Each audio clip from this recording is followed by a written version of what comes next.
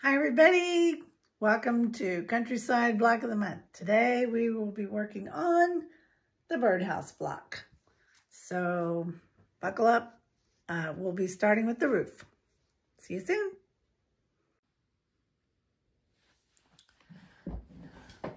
Hey everybody, so I just want to um, say, uh, well, hi first of all. Um, and we're going to do the roof. Now, it is important.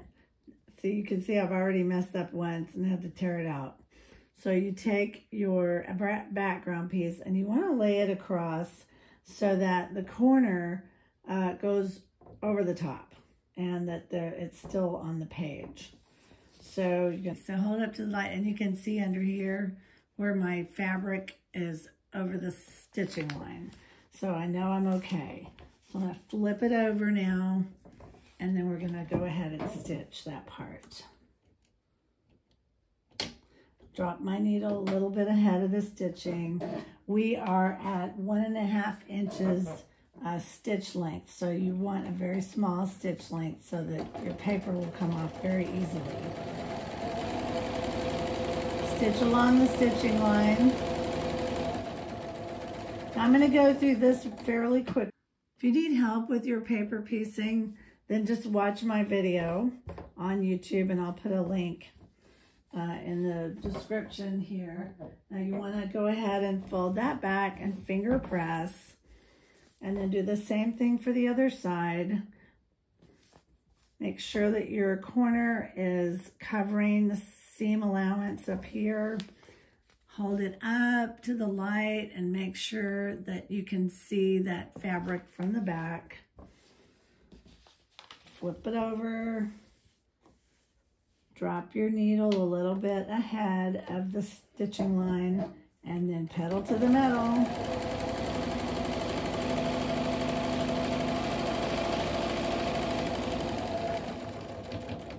Go a little bit beyond, cut your threads flip it over and go ahead and finger press.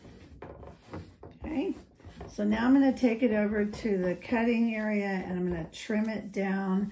I'm going to leave the paper on, but I'm going to trim down to the seam allowance.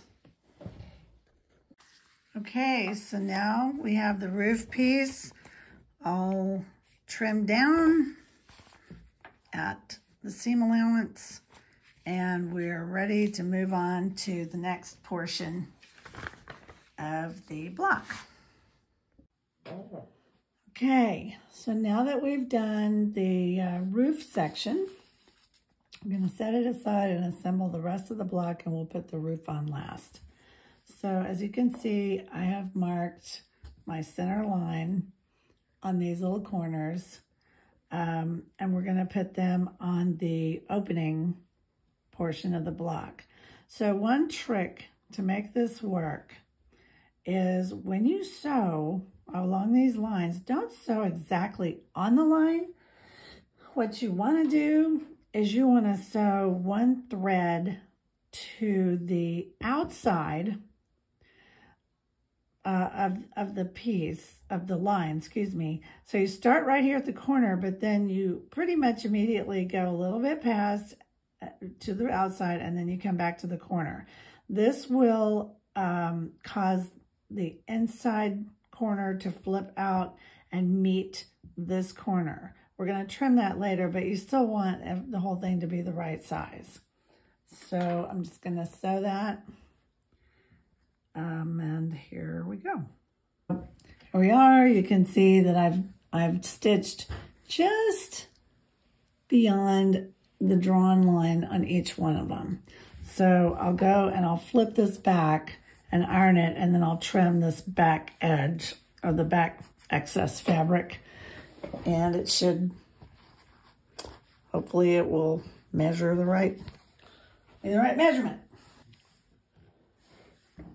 Okay, so next on the list here are the E pieces that go to each side of the opening. So we'll just sew one on either side.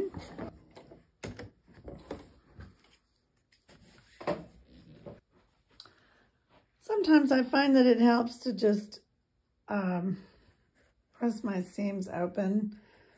Uh, since we, I'm going to be machine quilting this, it's not going to matter that the seams are open.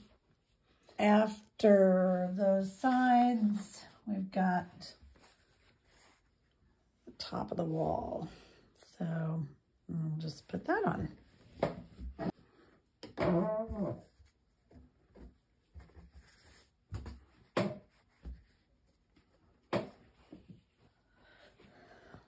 Next, it is going to assemble the platform first. So that's pieces C, G, and C. Yeah, because... think I made a boo-boo, did I? Nope, I didn't. Okay, never mind. We're going to put the side pieces on next, according to my directions and it is the B pieces onto the side of the center wall. Now we're going to do the plat. Well, that is these three. So we sew one to either side of this little square. Yep, it pretty well fits. It's a little short, so what I'm going to do is I'm going to take this and I'm going to I'm going to press these open instead of um, towards the center. And that'll give me a couple extra threads uh, to lengthen this. Yeah, that's that's a bit better. what you want is to try to try to have the consistent seam allowance. Otherwise, you come up with little things like this. So I think I've been in a little bit of a hurry today. Um, I think I'm going to measure this to see if it's nine and a half inches because at this point, this should be nine and a half inches long. So let me go measure that. So this piece needs to measure nine and a half by five and one eighth. And I did a little bit of sliver trimming just to get this nice and straight on each edge. So hopefully this little platform will fit now. Let's see. I'm just going to turn it this way to see. On, no, not going to sew that on yet. We're just going to put that to the side. We're going to sew this part on. And that's nine and a half inches long, so that's good. So I'm going to sew this to the bottom section of the whole opening. So here we go. And again, when I'm done with this, I may need to trim off just a tad, but I don't think I'm going to have to trim that much. You could also just pin it and ease it in place if it's only a couple of threads difference. Because, and I think I'm going to do that because sometimes these little skinny strips just don't want to don't want to be nice. This is just real life, folks. This is how I sew. Sometimes I have it, rarely is it going smoothly and perfectly every time. Very rarely. It's usually some little something. So I'll go ahead and pin on each edge.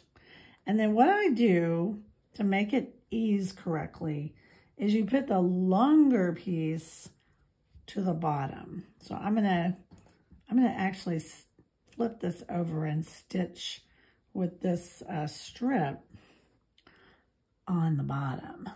That way, it'll ease into place and it'll be just great. Okay, so we're just gonna put that back.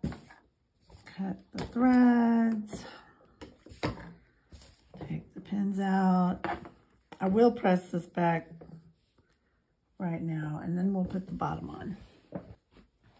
All right, just two more pieces to go. Two more sections, put the bottom on, then the top, and then we're all done. So I'll go ahead and pin the same as I did before. Now, mind you, I'm not doing this to win any piecing contests here. We're just making a fun quilt. Time to put the roof on.